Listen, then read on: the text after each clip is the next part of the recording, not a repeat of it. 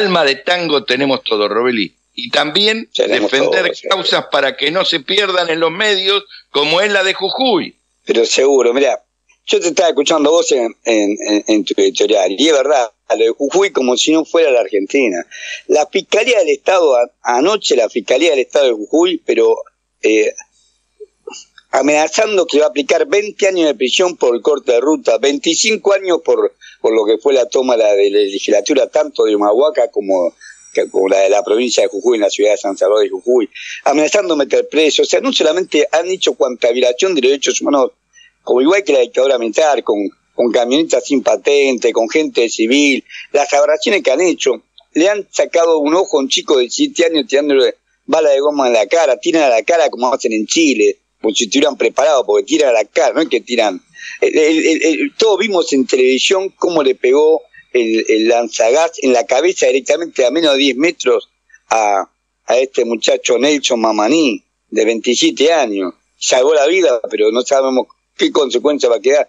Esta es aberración que ha hecho y encima utilizan todo el poder del Estado para amenazar a la población. Cuando ese gobierno incumple plenamente, incumple con la constitución de la provincia porque la viola reformándola para darle la explotación de, las tierras que son de los pueblos originarios, como reconoce el artículo 75, inciso 17 de nuestra Constitución Nacional, que dice claramente que se debe consultar cualquier medida que se toma en esas tierras a los pueblos originarios, incumple con la Constitución Nacional y también incumple con el artículo 41 de la Constitución Nacional el Congreso de la Nación y el Poder Ejecutivo Nacional, que se hace el olvidado más y todo estos tipos son chozos. Recordemos que el vicegobernador, que el vicegobernador de la provincia de Jujuy es un hombre del Frente Renovador, un hombre puesto por Sergio Massa, porque ahí fue un acuerdo, ahí hizo un acuerdo entre el radicalismo de Jujuy y, el Frente Renovador para llegar al gobierno. Bueno, el artículo 41 de la Constitución Nacional dice claramente que le corresponde al Congreso y al Gobierno Nacional preservar el impacto ambiental de toda medida que se haga, aunque le habían seguido el subsuelo a las provincias, el, el gobierno nacional, como somos una nación, se preservaba que cualquier medida que, que impacte al, al, al, medio. Y acá lo que están haciendo en la explotación del litio, lo que están haciendo en la explotación del litio son humedales. O sea, esos son siglos y siglos que la capa está corriendo bajo el agua. Cuando hacen grandes piletas de natación, porque son grandes piletas de natación para extraer la sal, ahí contamina el agua que está abajo. O sea, están, están contaminando con sal el agua que es potable. Inclusive cuando vacían la pileta, las mismas lluvias, el mismo río va llevando agua dulce a estas mismas piletas y se vuelve a salar. Con lo cual están salando las aguas. Han utilizado, según dicen los que saben del tema, vos, necesitas 20 mil litros de agua por, por tonelada, 20 mil litros de agua por tonelada de litio. Están utilizando las aguas que son de los pueblos originarios para sacar el litio, para extraer el litio, porque necesitan, primeramente lo ponen a secar. El show tarda como 18 meses. Es un método perverso que tarda como 18 meses en que se conforman el, carbonato de litio, que la sal se evapora al agua y se, y, se, transforma en carbonato de litio. Y sin embargo, le dejan hacer toda esta trapecionada, todo esto porque son grandes empresas extranjeras hay 38 proyectos de litio en Argentina actualmente, pero los tres más grandes, los tres más grandes que están íntimamente relacionados entre sí, por ejemplo, vos tenés el, el, litio de la reserva Olaroz Cauchari de la minería Exar, esa está formada principalmente por Liven y por supuesto siempre el socio menor es Jujuy Energía y Minería Social de Estado que es la que presta la tierra. Bueno, esta Liven, que ahora se asoció con el otro gran proyecto, están asociadas con Alken, que Alten es una es, es la unión de una empresa australiana que es Alten con Toyota. Y por supuesto siempre Gense, siempre la empresa estatal Jujuy Energía y Minería que tiene una participación minoritaria porque la que está el terreno, como los terrenos son fiscales que son de los pueblos originarios. Y nunca se lo dieron, Gense hace testaferro y le da los terrenos porque es una empresa tendría que decir la constitución, tendría que decir que la tierra le pertenece al pueblo de la provincia, no al gobierno de la provincia, porque el gobierno de la provincia a través de GEMSE hace esta tapisonada. Bueno, Alkem y, y que la empresa australiana, y Liven, que es la empresa norteamericana, detrás de Liven se sabe que está BlackRock y Vanguard, que son dos grandes fondos de inversión, los dos grandes fondos de cobertura más importantes del mundo. Pero detrás de Alkem está el JP Morgan y el. Se unieron o sea, el, el, el 17 de junio las dos empresas se fusionaron a nivel mundial, Alken y Liven. O sea que las dos principales explotaciones son, en realidad son tres, porque hay una tercera que es la del salar de hombre muerto, que es la que iba a contar al principio, que esa también la tenía Liven, y que secaron un río, secaron todo un río que, que, que, que se llama Río Trapiche, y estaban secando otro río que se llama Los Patos, en en Antofagasta, en Catamarca, en el Salar de Hombre Muerto, o sea, las tres explotaciones de litio, las tres le pertenecen a las mismas empresas que están funcionadas ahora y que son grandes pool de financieros los que la manejan. Y no les interesa ni la gente, ni, ni el impacto ambiental, ni nada de nada.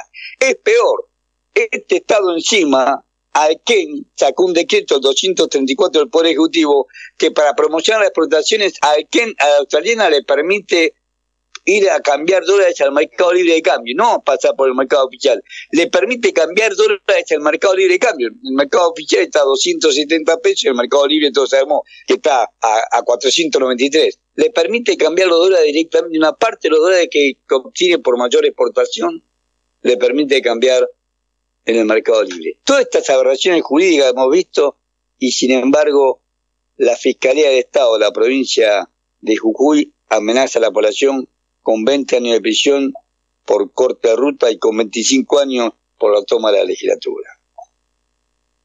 No, eso está clarísimo y está bueno que recordemos siempre al querido y nunca bien ponderado Black Rock y Larry Finn, amigos nuestros, que somos una de las pocas radios y los pocos medios que mencionamos este nombre. Y algunos dirán, eh, bueno, no exageren, eh, los demás no tendrán esa información. Lo que pasa es que Larry Finn y Black Rock están en todos lados, muchachos. Están en el río Paraná, este, a través de Glencore y de todas las negociaciones que hay entre puertos, producción cerealera y que también tiene que ver con la producción minera porque sale este, por el río Paraná. Bueno, ahí está BlackRock, pero BlackRock es quien condicionó el acuerdo con el Fondo Monetario Internacional porque era el, esto nos lo ha contado nuestro querido Robelli ya hace dos años de esto, este, el que hizo el acuerdo de los acreedores privados de la deuda en Argentina, de la que se habla poco, pero que es condición que nos va a someter a, a pagos importantísimos, pero además el Fondo Monetario decía que si no arreglaban con los acreedores privados, no había acuerdo con el fondo. Digo, todo esto pasó en la Argentina y ahí se consolidó la posición en Argentina y en muchos lugares de la Argentina, Larry Fink y BlackRock, quien algunos dicen que tiene alguna parentesco con este con el candidato de Unidos por la Patria. No lo puedo decir ni verificar yo, pero eh, escuché algunos comentarios de economistas que dicen eso. Por eso digo, es gravísimo lo de Jujuy porque está atado a esa explotación del tema del agua, que es un tema central, Perón dijo, vienen por el agua, lo dijo hace un montón de años.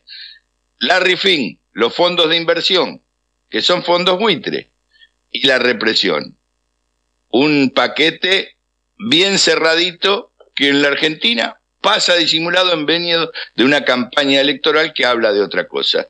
Eh, ¿No es así, querido, y Néstor, valiente lo tuyo porque volvés al tema de Jujuy cuando toda la prensa quiere hacerse el olvido.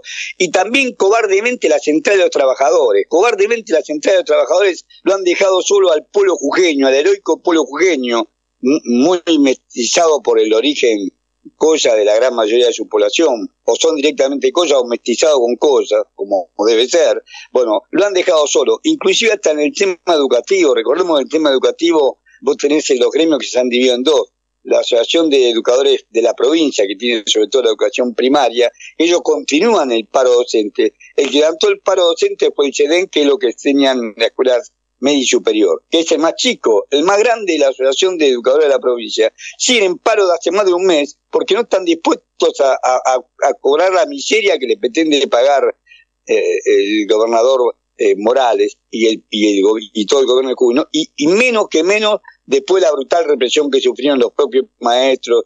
Bueno, por eso mismo, están exigiendo que se vuelva atrás con la reforma constitucional, esa reforma espuria que hicieron, y sobre todo la renuncia de Gerardo Morales. Están pidiendo la renuncia tanto los docentes como los originarios, están pidiendo la renuncia de ese represor, de ese fascista, de ese hombre que ya es el simpático para la prensa, pero que es una hiena que ha atacado con saña al pueblo y que está y ya ha munido de, de, una reforma constitucional que le da plenos poderes al Estado para que haga este vasallaje de, de regalar la tierra, el agua y el impacto ambiental que significa y excluir de la opinión a los originarios, a los pueblos originarios, violando la Constitución Nacional y sin embargo se queja que los originarios y los maestros no cumplen con la nefasta reforma constitucional que hicieron ellos entre gallos y medianoche. Es peor, el que preside la, el que presidió la comisión constitucional, el bloque de la, la, la convención constituyente, el que presidió el bloque de,